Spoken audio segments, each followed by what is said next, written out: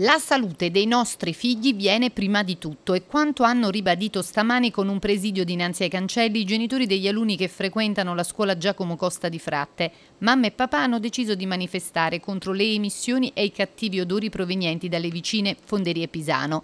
L'episodio che ha acceso la miccia è datato 20 ottobre scorso. Un odore nauseabondo ha raggiunto le aule dei piccoli alunni ed i genitori sull'episodio hanno anche presentato l'ennesima denuncia ai carabinieri. Allora, oggi siamo qui riuniti perché non possiamo più aspettare, non possiamo aspettare perché la salute dei nostri figli viene prima di tutto e non possiamo neanche barattare il diritto allo studio, alla scuola che ci, dovrebbe, che ci viene assicurato. Noi veniamo qui, stiamo alle regole, ma l'istituzione dovrebbe permetterci di non mettere a rischio la salute dei nostri figli. Purtroppo eh, di due settimane fa una giornata terribile il 20 ottobre quando nelle classi dei nostri bambini la puzza era presente, faceva caldo e non si potevano tenere le finestre chiuse come possiamo fare? Sappiamo che l'esposizione continua e giornaliera ad agenti inquinanti può portare a patologie, patologie nel caso dell'inquinamento atmosferico che riguardano sì le vie respiratorie ma anche patologie più importanti.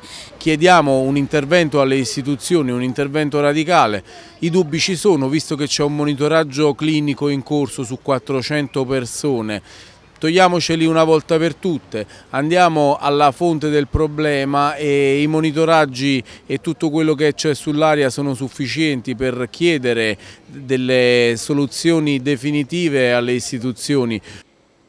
Tra i genitori degli alunni della Costa anche Gianluca Di Martino, già presidente di Lega Ambiente Salerno ed ora coinvolto nella battaglia in duplice veste anche di genitore. I figli ci dicono papà ma perché sentiamo puzza? Quindi è una cosa molto semplice, la voce e la verità che appunto ribadisce un disagio della popolazione salernitana, in particolare di chi vive eh, la città a ridosso del fiume, in tutta la zona fino a Torrione, praticamente fino alla foce. Eh, ancora oggi diciamo che è impossibile pensare che la, questa città debba essere invivibile quando le correnti eh, di eventi appunto, portano i fumi della fonderia verso qui. Non, non, è possibile per noi portare i bimbi a scuola, portare i bimbi a scuola e pensare appunto che quella mattina i bambini possano avvelenarsi con le polveri sottili tossiche della fonderia Pisano. E al fianco delle mamme e papà della Giacomo Costa c'era stamani il Comitato Salute e Vita rappresentato da Lorenzo Forte che ancora una volta invoca al sindaco di Salerno un'ordinanza di chiusura immediata dello stabilimento di Fratte.